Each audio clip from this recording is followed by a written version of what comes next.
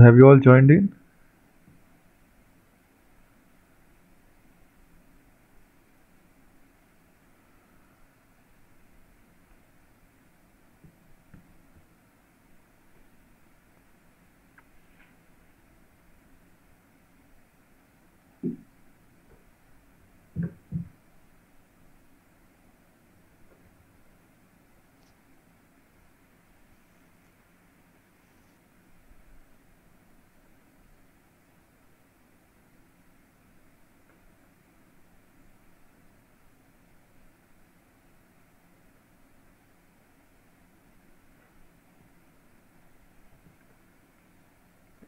Good evening, Sachin. Good evening, Pratham.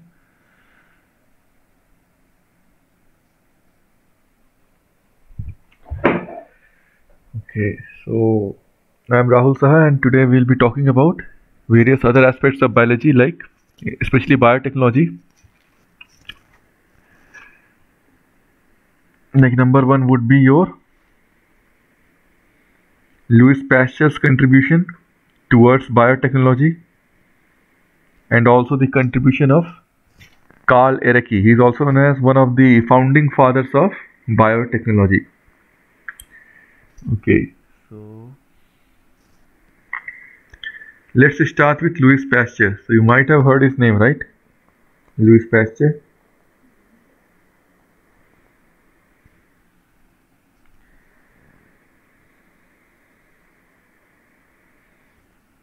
So Louis Pasteur, you can say he was born in 1822, right, in France, and he died in 1895. And he was a renowned French chemist and more so a microbiologist, who was one of the, you can say, founders of medical microbiology. Louis Pasteur, a French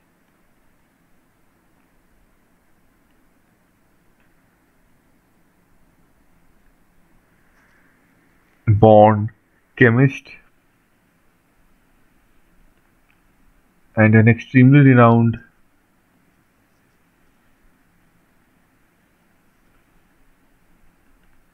biotechnologist. In a way, he was mostly a microbiologist.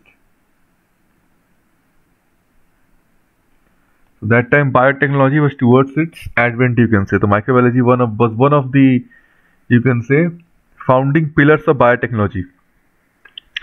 And also founding member of medical microbiology. One of the founding members or you can say founders of medical microbiology. Like the effects that we are seeing right now the SARS-CoV-2, SARS virus in 2003, then various bacteria like Mycobacterium tuberculosis, Neisseria, gonorrhea, right? Then Treponema pallidum causes syphilis, right? Then Clostridium tetani can cause tetanus, Corynebacterium diphtheria can cause diphtheria. So various bacteria, viruses are there in the surrounding, even the protozoan, Plasmodium, Vivax, Falciparum, Malei, ovale they cause different varieties or different specific types of malaria. So he was the founding member of medical biotechnology or medical microbiology one should be specific.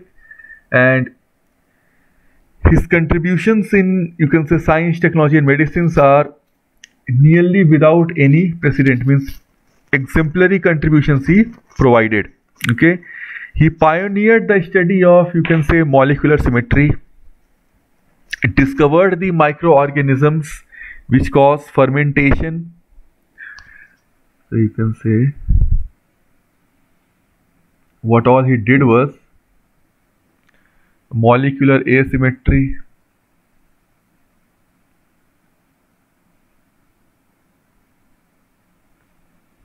discovered microorganisms uh, organisms which were responsible for the process of fermentation.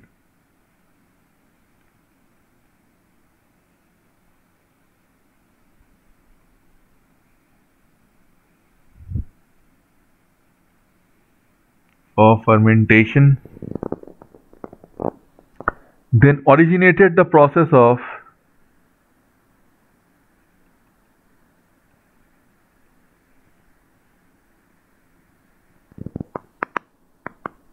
pasteurization. You might have heard of pasteurization process. And also he saved beer industry wine industry during his point on in time and silk industry in france. Via his pasteurization process? He saved those industries in france from getting or facing you can say adverse effects and okay some is to do absent fine fine no, no issues. So he saved so today's class is mostly the I'm not going to go very very deep okay? So you will be learning about the introductory the first chapter which contains as per your syllabus the contribution part of various scientists which you should be knowing as a biotechnologist that various scientists like Louis Pasteur, one of the founding scientists, what he did. Now, how did biotechnology come into existence? It, it just didn't, you know, arise all of a sudden like in 1970s genetic engineering. Somebody thought 1990s they went for human genome project. So the foundations were laid long ago, right? Foundations were laid long ago, long back you can say, long time back.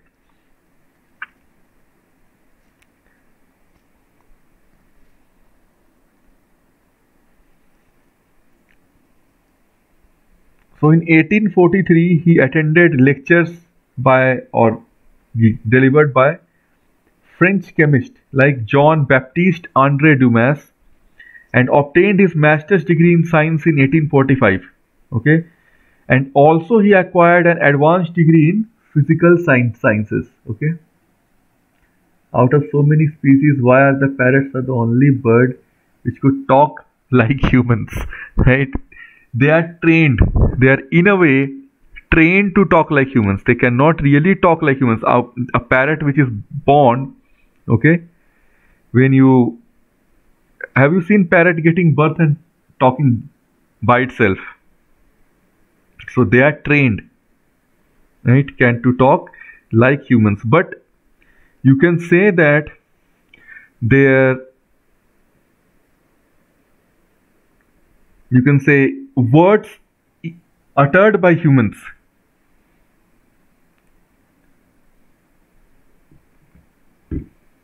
The words that we utter. So that makes a resemblance okay? So that makes a resemblance with their flocking sound. So that is one of the reasons that parrot that you can say parrot can talk. No no they don't have any special organ. Like many birds can sing also. You know that right so many birds can sing also. That is their thing. So a bird can sing because they have a special region in their brain. They have a very small brain but there is a special region in their brain right? Which contributes or which takes care of the song. So it is called as a song system which is part of the inner core of the brain. So parrots also have an you can say after if you go for an MRI scan of parrot brain, you will find that they have an extra part of that inner core or sound system in the brain, right? Which is known as an, you can say, technically it is known as an outer shell. Outer cell. So scientists, they are not completely sure because what happens is you don't get that much grant in order to go for research you need a lot of money. That is the thing. You need millions of dollars for a proper neurological research. So this has been found by mri scans. The scientists think that the outer shell helps you or assist parrots. Okay this is a area in the brain which is an extension of the song system or the inner core which assists the parrot to be really good at imitating sound you can say. They can copy sound well but still the mechanism if you want to know the complete mechanism still i also don't know because in any research paper there is no research paper as such because the grant is not there. Since the grant is not there i cannot any scientist cannot go for research. You need money right? So that is why money is not shelled out for all those. Mostly the researches happen in human beings only. In plants also only wheat bajra rice so staple grains. So there we go for genetic engineering. None of the plants are valuable for human beings otherwise we are extremely selfish creatures. Right? If you ask a very rare plant sir what is happening? Nobody knows because there is not a single scientific research article by which you can read. And if you submit i want to do research on this very plant what the sanction body like in india you have dbt department of biotechnology then you have csir you have icmr indian council of medical research you have dht right so these are the bodies which provide funding in india so if you write down i want to test what happens exactly in cactus complete testing of cactus genome i want to sequence the genome the proteome, the epigenome, the RNA, the transcriptome, I want all that. They will write back to you, why do you want to do it?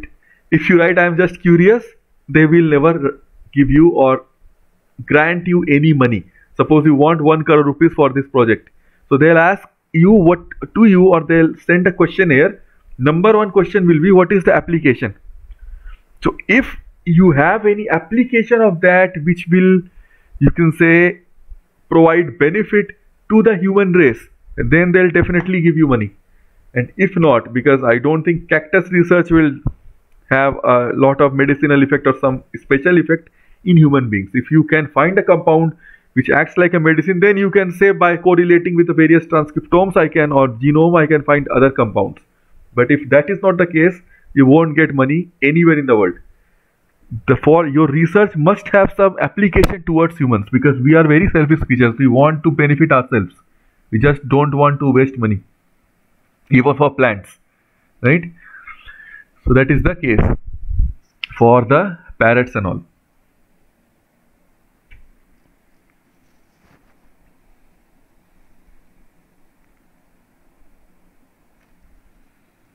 any other question pratham?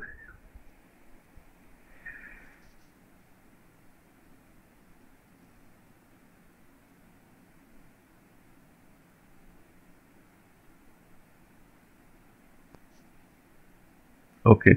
So dog's brain is again different. Last time there was a research that dog's brain have got an inbuilt compass. There was a research also in the scientific general science that if you leave a dog their brain has got an specific neurons which can sense the electromagnetic field. And that's why they can track you down and come via a different route but will find you. Right? They can find their route most often than not. So dogs have very different brain and they have more neurons compared to cat. For one centimeter cube they have got more than 120 billion neurons dogs right they have a lot of neurons but not like human beings we have 86 billion neurons in our brain dogs may have 1 to 2 billion at maximum okay so that's why we are at the top of the food chain okay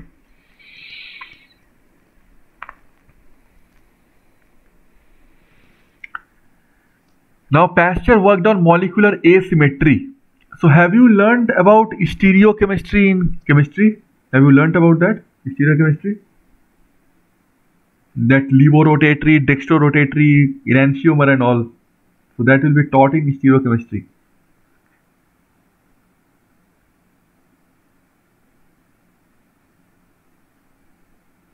In case of organic chemistry, there will be an stereoisomerism. Under isomerism there will be an stereoisomerism. Under that you will be getting plane polarized light and optically active compounds. So he also studied optically active compounds. Okay mr or dr louis pasteur you can say or if you can say a special compound was there tartaric acid so i'll not go into the details of chemistry because that will take a lot of time and chemistry teacher may feel bad then so then germ theory of fermentation. So germ theory of fermentation. This was also given by Louis Pasteur. So Louis Pasteur was appointed as the professor of chemistry and dean of the science faculty at the University of Lille. Okay, it's a good university renowned university, University of Lille. While working there, he was asked to, you can say, help solve problems related to alcohol production at a local distillery and thus he began a series of studies on alcohol fermentation. So his work on these problems led to his involvement in tackling a variety of other, you can say, practical and economic problems involving this fermentation. Okay. So what he did was his meticulous efforts they proved successful in unraveling or unveiling most of these problems. And Pasteur investigated a broad range of aspects of fermentation. So he did a lot of work on fermentation and fermented food. Louis Pasteur is well renowned for it, including the production of compounds like lactic acid production. Lactic acid production. Also, this lactic acid gets produced in milk right when the milk gets sour. And he also studied butyric acid production. So lactobacillus bacteria present in the milk when they proliferate they produce lactic acid right which will make milk acidic and which will let milk become sour and which can spoil the milk. Why do we dream? Does that any any role in improving our brain? Very good question. Answer will also be you can say dream state. Dreams never improve your brain. Okay, it shows how extremely active your brain is. The activity part in your brain is shown by dreams. Okay, the number one thing what happens in dream is there are first of all you can say two types of sleep pattern okay? Sleep pattern is of two types. One is rapid eye movement sleep I just tell you REM sleep and what is non and another is non REM sleep. Rapid eye movement okay? Rapid eye movement. REM sleep another is NREM sleep that is non rapid eye movement so this you can take off as sound sleep. This you can take off as shallow sleep. Means you are not sleeping that well.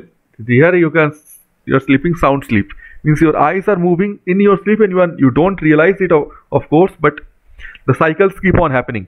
During the first half an hour in the at any night you go for rapid eye movement sleep, then you go for non-rapid eye, then again you change to rapid eye movement. These things happen.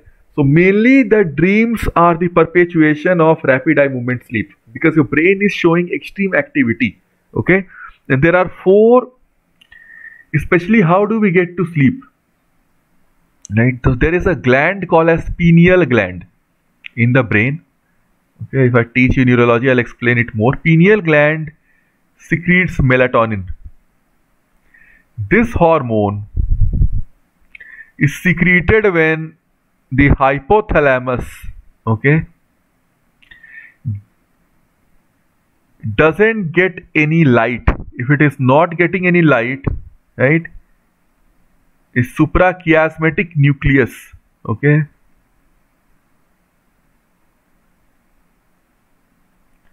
now you will think that nucleus means nucleus of the cell but no. In neurology in the central nervous system Nucleus means cluster of the cell body or cyton of the neuron. Okay. So if I say nucleus, okay, nucleus means a cluster of the first part of the neuron which is known as the cell body or cyton. It can also be referred to as perikaryon or soma. There are four synonyms for that specific part of the neuron.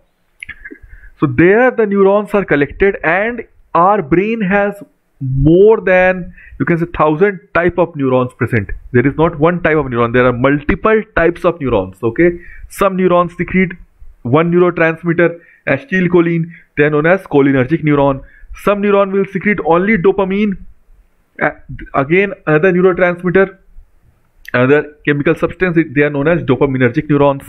Some neurons secrete another neurotransmitter known as you can say serotonin they'll be known as serotonergic neurons. Like GABAergic neurons if they secrete GABA gamma amino butyric acid. So there are multiple types of neurons in the brain. So the thing is this SCN contains a specialized type of neurons which then pass on the signal to the pineal gland. Because when night happens when the light does not fall or when we are in darkness then only we feel sleepy right? Otherwise we don't feel sleepy normally. But if you are really tired you will go to sleep. But mostly if you compare you will go to sleep mostly in the night compared to the you can say daytime. So at night it will signal pineal gland. Pineal gland in return will secrete melatonin. Okay? And melatonin along with a special neurotransmitter known as GABA. Okay? GABA is another neurotransmitter. Along with this is a hormone. This is a neurotransmitter which is the chemical released from the synapses full form is gamma amino butyric acid so this specific neurotransmitter directly shuts down the connection between neurons. And then we go to brain. Okay, and sorry, then we go to or then we achieve sleep. Okay, so how does it or how is it able to shut down the connection? Is by hyperpolarizing a neuron. So that I can teach you when I'm teaching neurotransmission, the action potential, how does the resistance occur between the or uh, in the cell how does the current get produced in the cell how does the current you can say propagate in the neuron via depolarization repolarization hyperpolarization also known as upstroke downstroke so that is a different thing so here you can understand this much that hypothalamus will initiate pineal gland to secrete melatonin and also GABA is secreted from GABAergic neurons, specific neurons, and this leads to sleep. But if the sleep is not proper, then we start dreaming. But the real mechanism of dreaming has not been elucidated in any research. One more thing is since brain is an excitable tissue, excitable cell made up of excitable cells known as neurons. So neurons, your heart cells, cardiomyocytes, right? to an extent your skeletal cells are excitable cells because they can produce electricity. So for the heart you may have heard of ECG, electrocardiogram. For the brain, electroencephalogram is done. Encephalon means brain, right? Encephalon. That is the meaning of brain. Now brain has four waves, beta, alpha, okay. Then you can have theta then delta so beta is when you are completely active suppose i am teaching you you are listening both the brains are completely active working properly then that is known as beta wave alpha wave is suppose i am tired and i'm just sitting nicely okay i am sitting nicely and suppose watching a movie or just sitting leisure sitting that is alpha wave less active now suppose I am daydreaming, just sitting and almost sleeping, right? Almost sleeping. Or I'm just taking or I'm just laying down on the bed but not sleeping. Then theta wave. But when I am completely sleeping, then delta wave will be active. So if we are in deep sleep, the highest wave that you will see is delta wave. And delta waves have, you can say, longest amplitude means too much trough and too much crest and least frequency because if you increase the amplitude like this frequency will be less per second if you decrease amplitude frequency will be more so this has highest frequency lowest amplitude this has longest amplitude highest amplitude and lowest frequency. Amplitude wise this will be highest your delta wave. So due to these waves scientists can know when you are sleeping when you are not sleeping when you are active. But the real reason why some people can also dream when they are in the non-REM sleep sound sleep when they are there that time they can also dream. Trance state they can reach. Okay still it's a mystery in neurology that how do dreams happen. So mostly there is a postulate that whatever we think of too much in our subconscious level that comes out in dreams. suppose you are going to sleep and you are thinking of something for the last two to three days you are thinking of a specific point or a specific event so that event may come in your dream. So that is again a postulate. Yeah it is the electromagnetic wave only because the brain is producing electricity so that they will show electromagnetic wave electromagnetic spectrum when electrodes are put in your head. So electrodes are put in your head like this. I'll show you an eeg eeg test. So electrodes are put like this. Just look at this. Electrodes are put like this okay like this is the image. Electrodes are put and they will measure the brain waves because neurons all the neurons they cumulatively produce 10 watts of power. Okay 10 watts of power they can produce the brain can produce okay? You can light a small bulb via your electricity produced by your brain. So this is how an EEG test done. And if you want to look at the brain waves that I was telling about beta alpha theta and delta okay brain waves. EEG okay. Look at this one. See awake with mental activity beta. Highest frequency 14 to 30 hertz means 14 to 30 waves per second. Awake and resting okay you can be daydreaming light sleeping theta and deep sleep that I told you. See the big long amplitude and less frequency delta less than 3.5 hertz of frequency. Okay? So this is these are the four waves. Gamma waves are not present so some people say gamma waves but they have not been elucidated. These are the four main waves of brain that I told you. Highest frequency to lowest. Okay? So this is how it happens. So did you see the brain waves?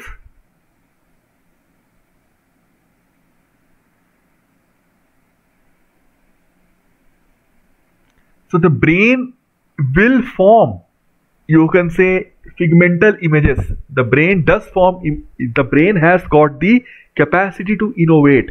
Suppose you want something and you are scared of something right? So that scary part won't happen in real life. Suppose i had one accident 2 years ago okay?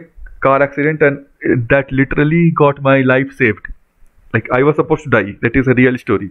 2 months back i was driving and I, the brake failed of my car rammed into the back of the truck and during the before the collision i had shut my eyes. I knew this is the last time set in. Let's see what happens.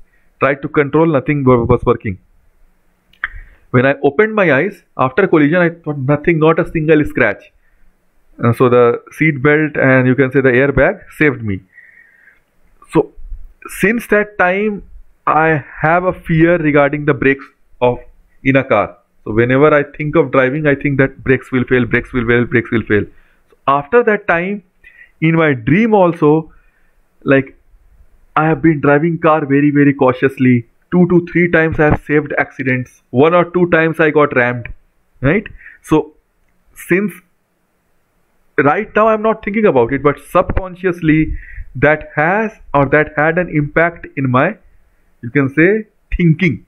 It has put a fear inside of me that even if I'm driving properly, brake failure can happen. And again, my accident can happen. And this time I can die. So some hidden fears can be, you can say, elaborated in the brain when you are dreaming okay they get elaborated they get extrapolated okay in the brain because the brain will then think of all the possibilities. It can make you fall off the cliff. It can make you see someone someone's death. Suppose you love somebody your father or mother too much and you are too scared to lose them. It happens. Suppose you love somebody very dearly and you are afraid that if they die what will happen? So the brain will, you can say, perpetuate and exaggerate your fear and will put the fear in front of you. Right? That that person that you love is dead and now you are weeping badly and something happened. It has happened many times with me also. And then I am awake, awake, I say, okay, all are all are fine. Okay, let's go to sleep again. It was a bad dream. So that happens. Okay, it has happened with me. It must have happened with you. That's why you're asking.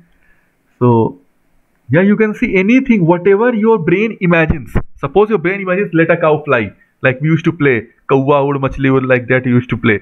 So let the cow fly. But you know realistically it is not possible. But when you are sleeping, your brain can make any figment of imagination that it wants.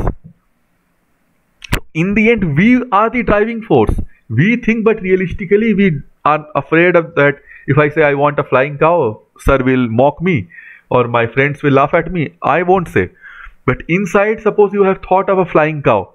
Sometime your brain has imagined. That will be again elaborated, right? Extrapolated in the dream.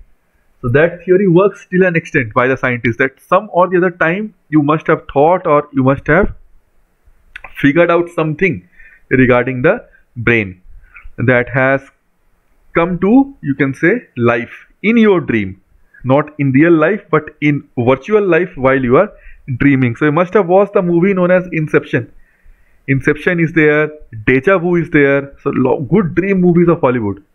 Just watch if you haven't watched. Leonardo leonardo Di, DiCaprio's inception and denzel what denzel washington's deja vu. You will really enjoy those movies if you are really a dream analyst or something like that. These movies are based on dreams only and very good thrillers right? So Mr. Pasteur did all that then there is a there is something also in your course known as Pasteur effect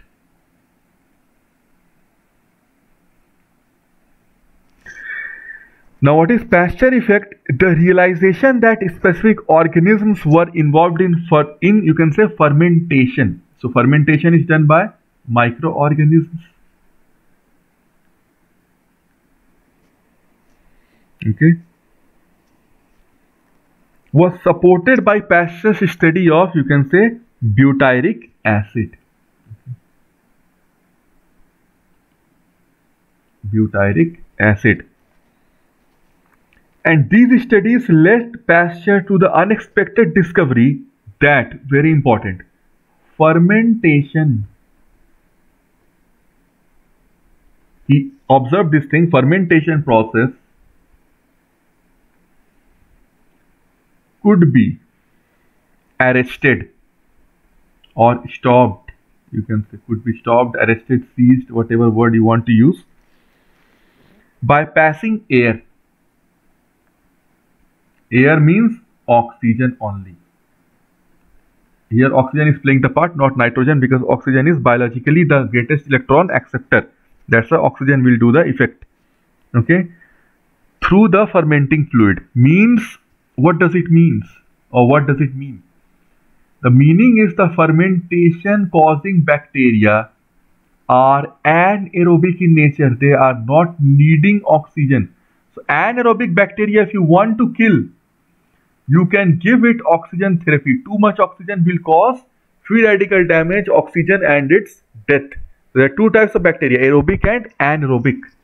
Okay, so if you want to kill anaerobic bacteria, still if there is extreme anaerobic pressure in you, pressure means anaerobic bacteria has infected you and antibiotics are not working. The last resort that doctors take in US, Europe and some in India that they pass you through 100% oxygen. They keep you under 100% oxygen and that specific limb will be passed through oxygen only right?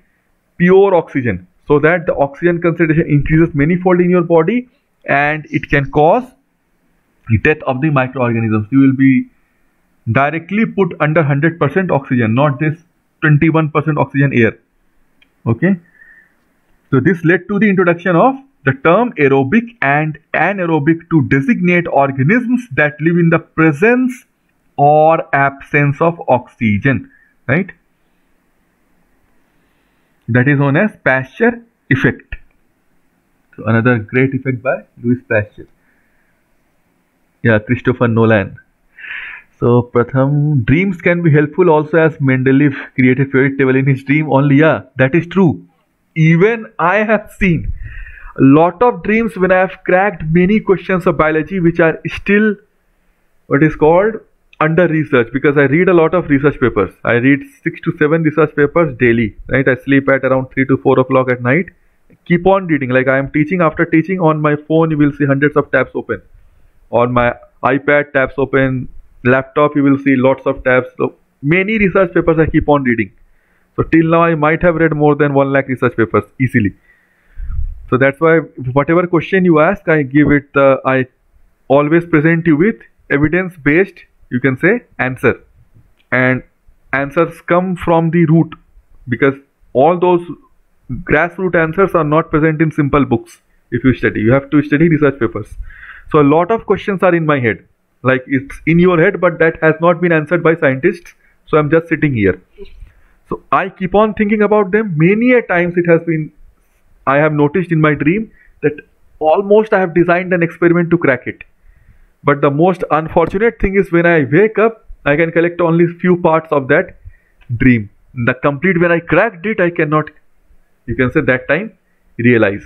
So if I realize then if it is true, non-true, and if it is vague or true, then I can apply the thing. But it has happened to me also.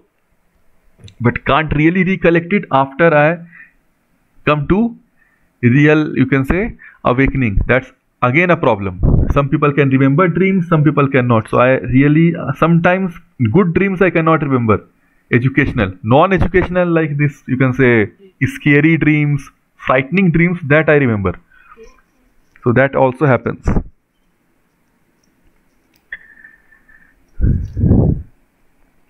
So pasteur effect you must be aware of. What did pasteur do? For his pasteur effect or pasteurization i should say? Next thing.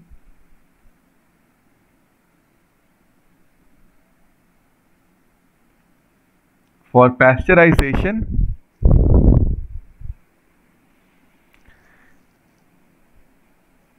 he went to Napoleon III and Pasteur studied wine contamination and showed that it could be caused by microbes.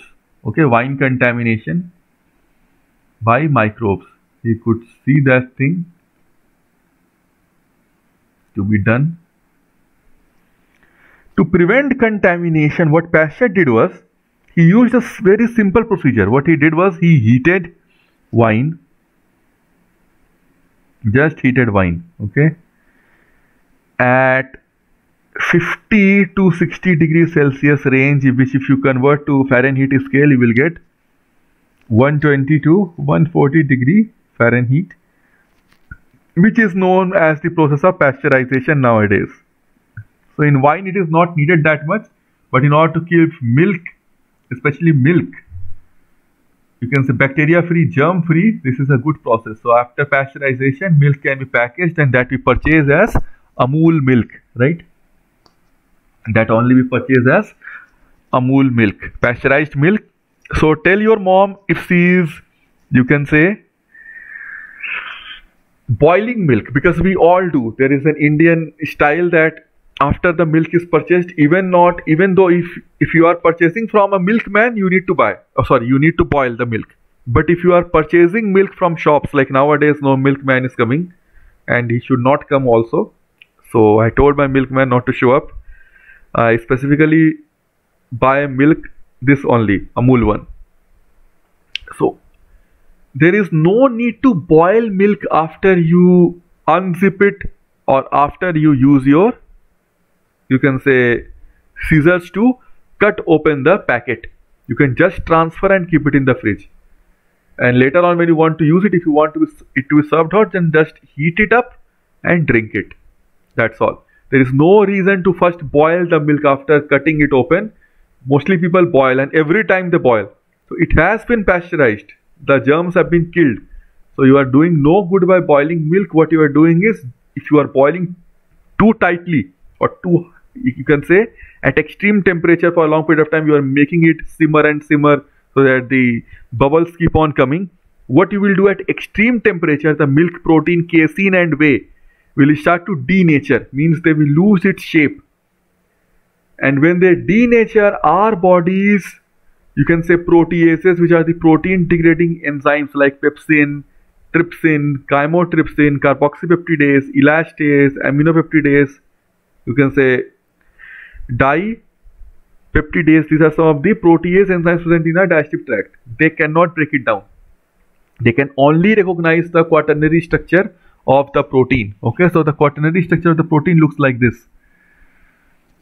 When I teach you digestion I'll show you quaternary structure of protein. Quaternary structure of protein you can see this. So protein looks like this okay? This is how a protein looks this one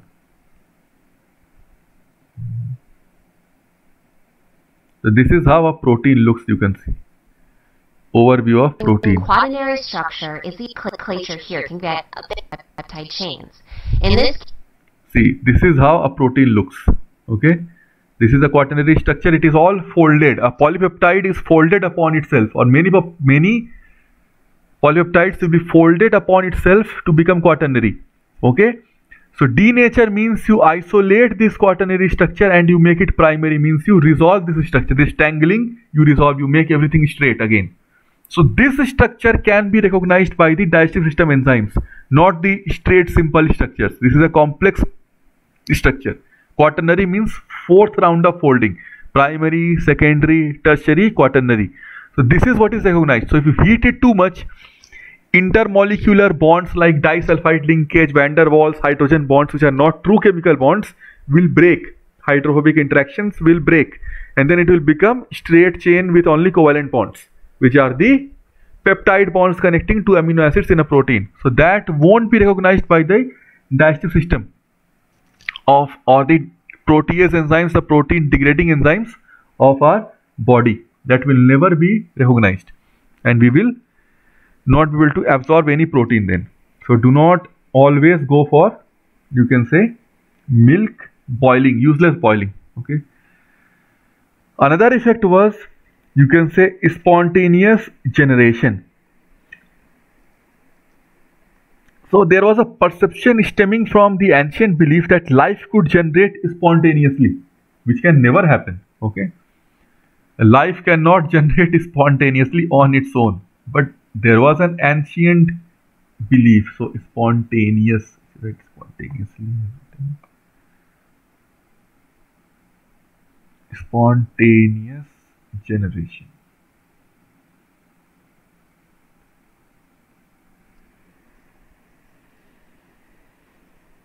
So during 18th century the debate was pursued by English naturalist you can say and Roman Catholic John Needham and also one French you can say naturalist George Louis Leclerc.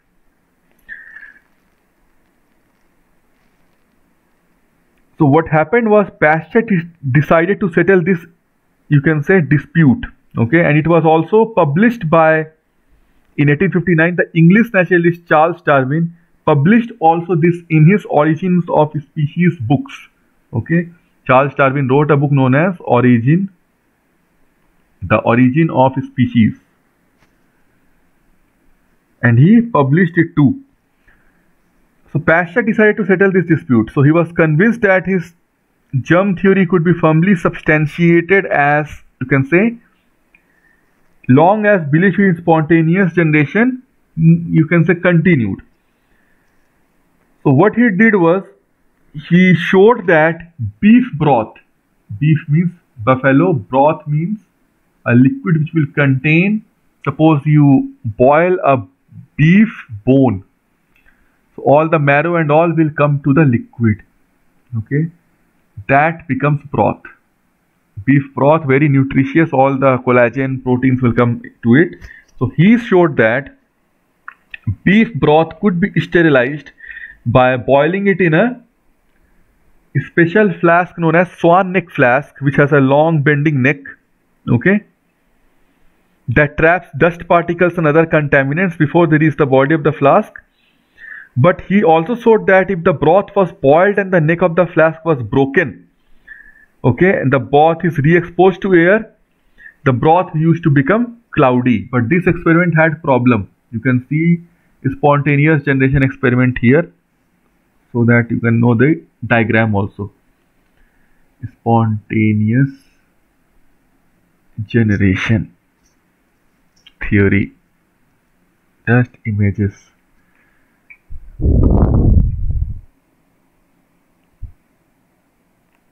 This is how the image looks. Spontaneous generation. This one. So broth if it is neck is like this will it make any problem? Because the microorganisms can enter here. Okay? So it was a very flawed experiment neck is broken you put a cork nothing neck is broken and if if you keep the neck broken for a long period of time what will happen? Microbes will enter very easily and it is making it cloudy. So microorganism replication is making it cloudy and he thought that the life is generating by so that the spontaneous generation is happening on its own. The microorganisms are getting you can say generated on its own here so that was the mistake that pasteur committed okay that was the mi mistake that he committed next up is your another specific person known as you can say Ereky, Earl Ereky, okay, or you can say Karl Ereky. He was a Hungarian from Hungary. There is a country known as Hungary. He was an Hungarian, you can say biotechnologist and father of the term biotechnology. Okay, in 1919, it was published in Berlin, Germany. He published a a book known as Biotechnology Del or Der Fleisch. That uh, book he published. Okay. And what he did was so today biotechnology is what? It's a quintessential modern technology. But in 1917, this Karl Ereky did a great work. He used what? Biochemistry. So he knew that the microbes also have you can say nucleic acid. And we also have nucleic acid right? So he told that we see that proteins of either you can say animals or plants if you take very nice explanation he gave at that point of time proteins of animals or plants what is the difference? Only the sequence is different. Sequence is different. Both are made up of amino acids and all the 20 amino acids are same. There is not a single amino acid which is different. It also contains glycine, lysine and all those. This also contains but in different sequence. First may be containing glycine, maybe lysine for different proteins. But each amino acid, all the proteins in plants and animals, my point is, is made up of those 20 essential amino acids glycine lysine threonine tryptophan tyrosine glutamine glutamate the list continues. The 20 amino essential amino acids are the same in plant and animal that he showed. So he so he laid the foundation of biotechnology he also showed that compare nucleic acid so if i show you nucleic acid so you must be aware of the fact that nucleic acid is made up of what? It is made up of a ribose sugar, a phosphate group and a nitrogenous base. So adenine, guanine, cytosine, thymine. Adenine, guanine are purines. Cytosine, thymine is pyrimidine. In RNA, thymine is replaced by uracil. In DNA, uracil is replaced by thymine. So the thing is, in plants, in microbes, in animals, the nucleic acid is also the same. Right? If you look at the image of a nucleic acid, a nucleotide you can say nucleo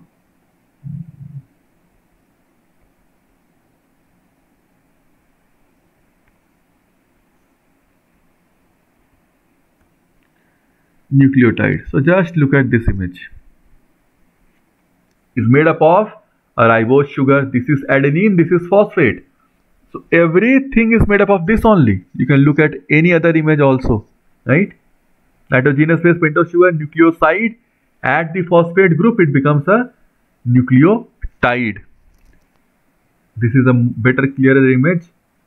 See adenine sugar phosphate. So this is what a nucleotide is nucleic acid is. So this is the structure of nucleic acid present in bacteria if it is an RNA virus like your severe acute respiratory syndrome coronavirus type 2 then you will have O in the second carbon of the ribose sugar where only H is present right? Here you will be having O. At this point where my cursor is you will be having an extra O that's all right? It will be RNA this is DNA because you don't have an O here. This is deoxyribonucleic acid. Means oxygen is absent at the ribose sugar which carbon? This is the first carbon this is the second carbon. Carbons are not mentioned in you can say pentose sugars or benzene ring derivatives. So second carbon of the ribose sugar it lacks an oxygen only has H group. There is no hydroxyl group only H group. It, it has become DNA okay? So the nucleic acid also is same in all the species. So that was his great conclusion okay Karl Ereky's conclusion.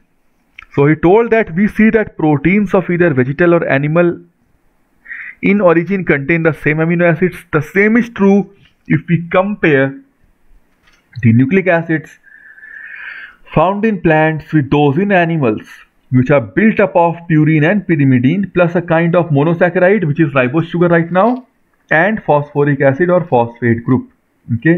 Then he would spend a lifetime giving substance to his vision of a new era of technology based upon biochemistry right so this is all classic biochemistry. They devised strategies focused upon the remediation of famine like plague, Spanish flu threatening mankind.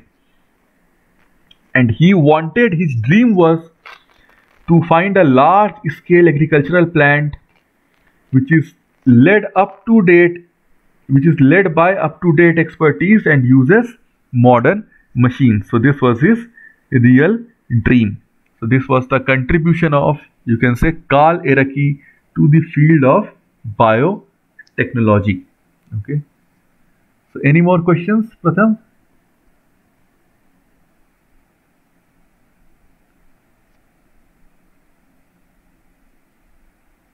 Any more questions you have regarding the contributions or any other field? You can ask me anything, any field you want.